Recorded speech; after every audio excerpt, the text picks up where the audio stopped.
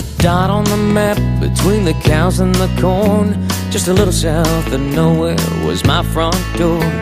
My family ran a five and dime on the corner of Third and Main. Well, life moved slow in that sleepy town. The streets rolled up when the sun went down. My big dreams didn't fit in a place that small.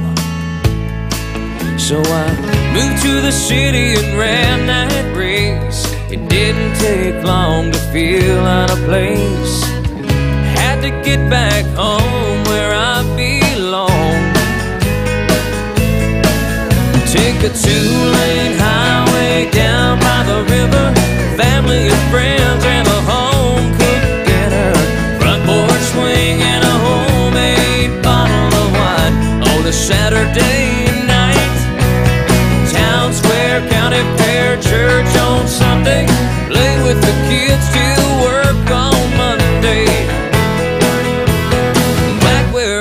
where I belong.